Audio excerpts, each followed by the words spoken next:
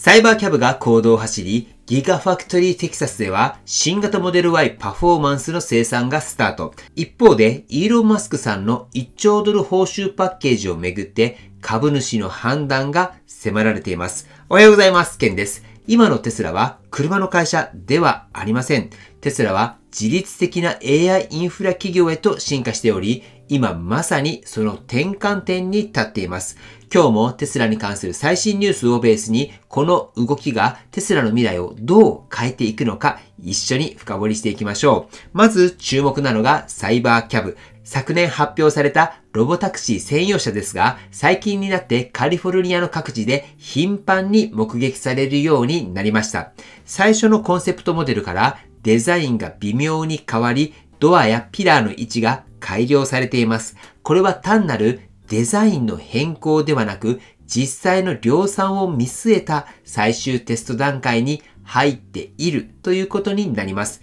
つまり、テスラがいよいよロボタクシー時代の実装に踏み出したということになります。同時にアメリカテキサス州のギガファクトリーテキサスではモデル Y パフォーマンスの生産が正式に始まりました。これでテスラは米国内で主力 SUV の全グレードを供給できる体制を整えたことになります。生産効率、供給スピード、そしてコストの最適化。まさにロボタクシーに向けた製造インフラの基盤固めが完了しつつあるわけです。さらにヨーロッパでも動きがあります。テスラはマルチパスという仕組みを拡大し、他社の充電器をテスラのアプリ一つで使えるようにしました。スウェーデン、ドイツ、フランス、ベルギー、イギリスなど主要5カ国で対応が進み、テスラは充電インフラそのものをオープン化し始めています。そしてその全ての中心にいるのが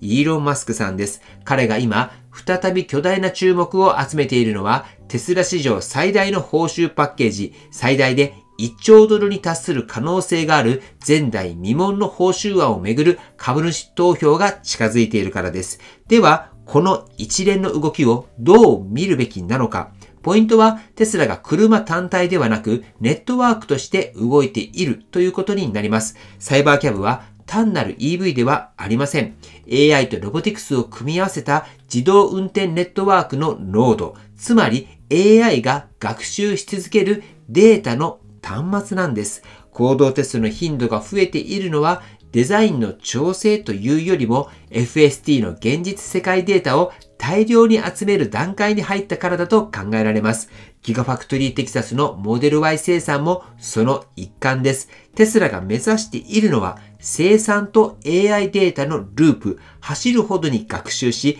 学習した分だけ車が進化する構造です。その基盤となるのが安定した供給能力と垂直統合された製造体制。それが今、テキサスを中心に完成しつつあります。そしてマルチパス。これも実は静かな革命です。テスラが自社スーパーチャージャーだけでなく他社の充電網をも取り組む。つまり充電というインフラのゲートウェイを握り始めている。テスラアプリ一つであらゆる EV が利用できる未来を見据えているとも言えます。ここで興味深いのは Apple が勝って iTunes で音楽配信の標準を握った構図に似ているという点です。テスラは車というハードを通じて AI とエネルギーのネットワークを作り上げようとしている。車を売るビジネスからモビリティネットワークを支配するビジネスへ。これが今まさに起きている変化の本質です。では、イーロン・マスクさんの報酬パッケージは何を意味するのか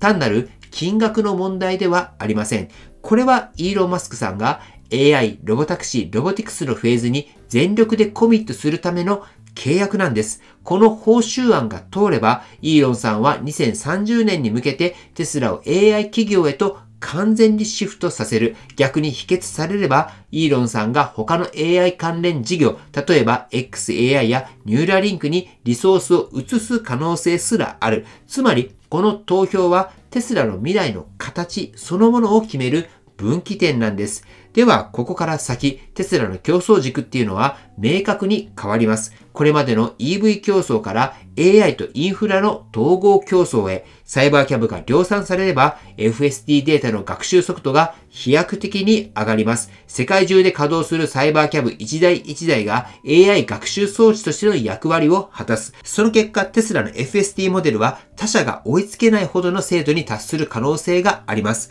同時にマルチパスが広がることで、テスラは走る、充電する、学習するという3つの行動データを統合管理できるようになります。これはエネルギーとモビリティを一体化した AI エコシステムの完成を意味します。そしてギガファクトリーテキサスはその中核、物理的な製造だけではなく AI 学習を内包する自己増殖する工場としての性格を強めていくはずです。同情コンピューターが学習を担い、FST が運転を学び、オプティバスが生産を自動化する。この三位一体の流れが完成すれば、テスラは自ら進化する企業になる。これが僕が見ている未来のテスラ像です。テスラは車を売る企業ではなく AI とエネルギーを結ぶインフラの中心。もはや競合は GM やトヨタではなく Google、Amazon、そして OpenAI になってきています。サイバーキャブが実際に稼働し始めた時、テスラは車を作る企業から移動を支配する企業へと完全に変わります。それはつまり人が運転するという行為そのものが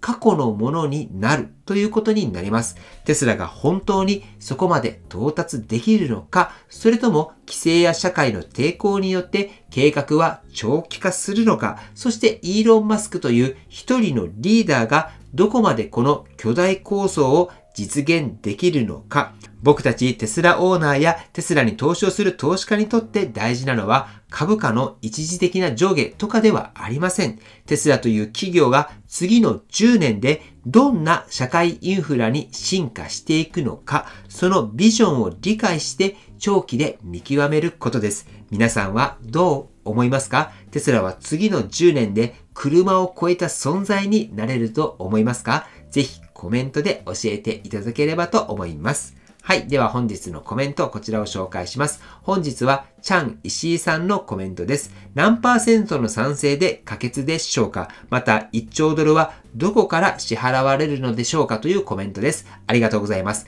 まず最初に可決の条件から整理しましょう。今回のイーロン・マスクさんの1兆ドル報酬パッケージは特別な規定があるわけではなく、テスラの他の議案と同じく株主の過半数の賛成で可決されると思います。つまり投票に参加した株主の半分を超える賛成があれば成立するというシンプルな仕組みです。ただし、イーロン・マスクさん自身もテスラ株を保有しているので、その持ち株分も賛成票とカウントされる場合には、可決の可能性は高いと見られています。実際過去の報酬案では、およそ77%の賛成で可決されたこともあります。では、次に1兆ドルがどこから支払われるのかという点です。これは現金で支払われるわけではありません。テスラが新たに発行する株式、つまりストックオプションの形で支払われる仕組みになっています。簡単に言えば、イーロンさんがテスラの株価や企業価値を一定の水準まで成長させた場合に、その成果に応じて新しい株を受け取るという報酬構造です。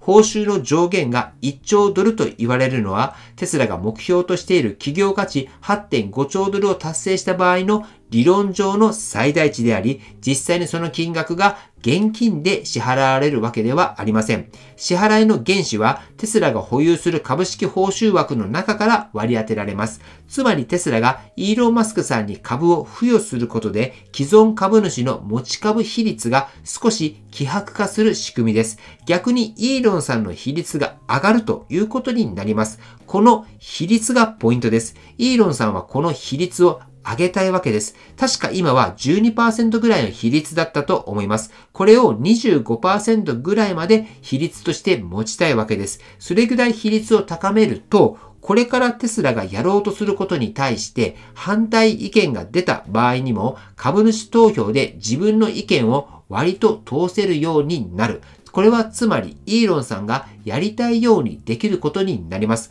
これが狙いなんです。そのため会社が現金を用意して支払うのではなく株式の発行によって成果報酬を実現しているという点がポイントです。要するに今回の報酬パッケージは過半数の賛成で可決され株式報酬という形で支払われる。そしてイーロンさんが設定した厳しい業績目標、例えば時価総額を8.5兆ドルまで引き上げる、AI やロボタクシーなどの事業を実現させる、そうした条件を満たさなければ報酬はゼロ。これが1兆ドル報酬パッケージの仕組みとなります。はい。少しでも参考になればと思います。そしてもし今の僕の説明の中で間違っているところがあったらご指摘ください。よろしくお願いいたします。はい。では最後にね、テスラの株価をチェックしておきましょう。本日は下げて現在447ドルとなっております。この数日、ボラティリティが非常に高いですね。株主総会で果たしてこの株価がどうなってくるのか、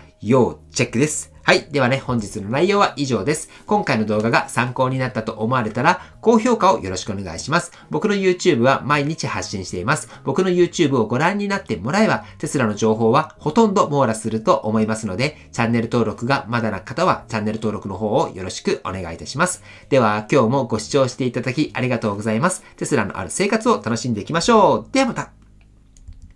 通信です。さて、今中古の取り扱いをしていますが、この中古テスラで今のサービスは続けます。今はモデル X とかも在庫として持っていますけれども、これにプラスしてボクシブと協力してやっていくことになりました。ボクシブの場合はバッテリーの状態もわかりますし、写真などもたくさん撮っているので、車の状態がわかりやすいです。ただ、欠点としては数がそんなにないというのがあります。一方で僕は中古テスラ情報、オークションでの情報をお渡ししています。こちらは在庫として持っていないですけれども、数はあります。ただ最近はね、少しずつ中古テスラっていうのが減ってきています。なので、僕のところか、ボクシブで中古テスラを買われるのがいいんじゃないかなと思います。また、関東在中の方限定になりますけれども、ご自身のテスラを売って、新しいテスラを買おうかなと思われている方、そんな方は、ボクシブライトニングで車を売られてみてはどうですか？ボクシブの中古売買に関しては概要欄にボクシブのリンクを置いてますので、